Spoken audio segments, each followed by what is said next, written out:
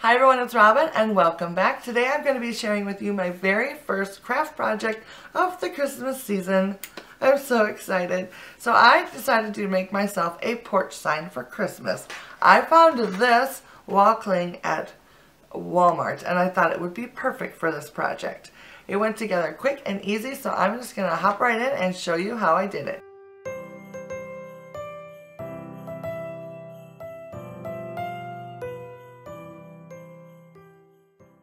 To get started on this project, I cut two 1x12 pine boards 5 feet long, and then I cut four sections of a 1x4 into 20 inch pieces. I laid the two 5 foot sections on the floor, lining up the ends nice and straight, and then I placed pieces of the 1x4 both at the top and the bottom, and then I centered the remaining two in between to attach the boards, I used a drill bit to make a pilot hole, making sure that I drilled all the way through the top board and into the one below it. I then installed two screws to hold it in place. I then proceeded to the opposite side of the 1x4 and attached the second board the same way. I repeated this process with the remaining three 1x4s as well. When I was done attaching all the boards and I propped it up, it looked like this. It was then time to give the whole thing a coat of paint.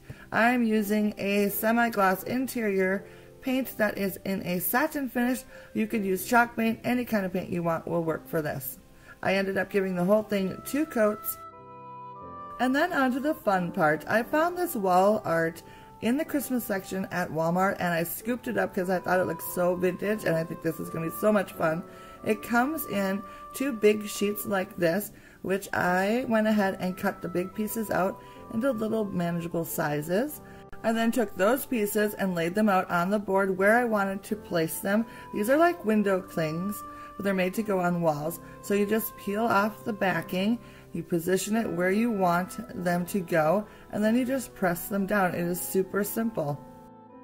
So I continue to add pieces one at a time, working from the bottom of the board all the way up to the top. It went together very nicely, and I really didn't have too much of a problem attaching these. I thought it might be sort of difficult, but it wasn't.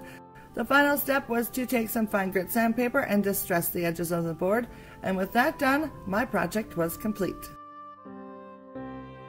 So here is a look at the finished project. Isn't it adorable? It has that great vintage vibe to it, which I love so much, and it was super quick and easy to make, which is always a plus. In all honesty, I am not sure how this is going to hold up to the cold weather that we have here in Minnesota. I'm a little afraid that the plastic is just going to sort of curl up, but for now it seems to be doing just fine, so we'll see how it goes. Worst case scenario, I can move it inside. As you can see, I have it sitting out by my front door right now and I think it looks awesome. I added a few things around it to finish off the display, starting with this bucket that I found at Walmart. I think it is so cute. I added some clippings from my trees and my dogwood plants, and then the birch logs are from my mom. And then I added this little pair of ice skates my girls used to use, along with a bucket full of wood, kind of make it look like you can bring it inside and put it in the fireplace. On my front door, I have this vintage wreath, which I absolutely adore. It's just one of those plastic ones that's very old, but I think it is just awesome. And altogether, I think it makes a lovely display for the holiday season. I hope you enjoyed today's project. If you did, give it a thumbs up and let me know down in the comments what you think. And I'll see you again very soon. Bye now.